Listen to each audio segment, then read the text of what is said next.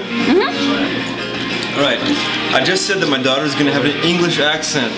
So it'd be so much cuter than what, you know, a regular American accent.